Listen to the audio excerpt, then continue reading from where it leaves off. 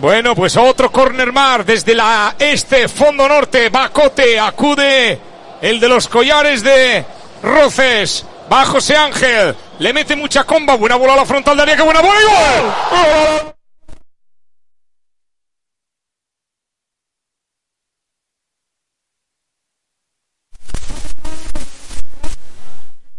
Girona anulado.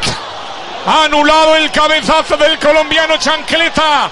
Hay un futbolista del Burgos en el punto de penalti, doliéndose como si le tuviera un cólico nefrítico.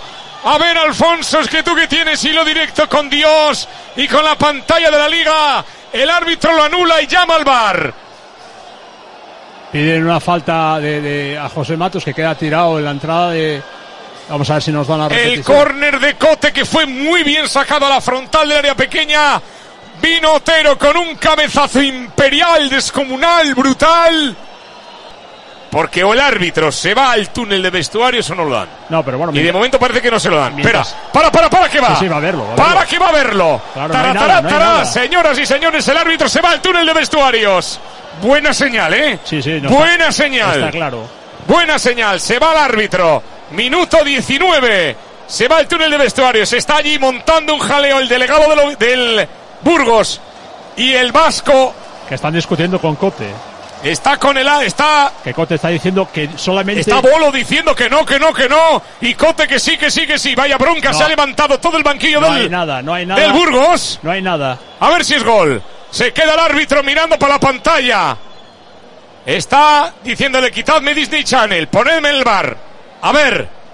Aquí nosotros estamos inalvis, no sabemos nada. A ver. Gol. Gol.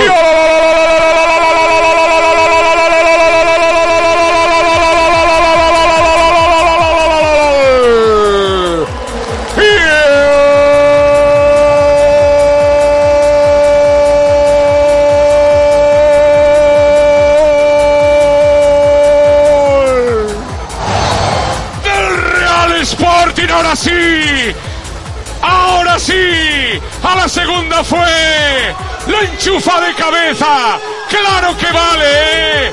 colombiano, chancleta, barranquillero, cafetero, con el 19, Juanito Otero.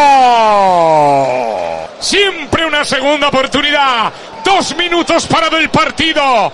Hubo que revisarlo una y otra vez y atender al del Burgos y ponerle una tirita y echarle bisvaporú y acariciarle y mesarle los cabellos.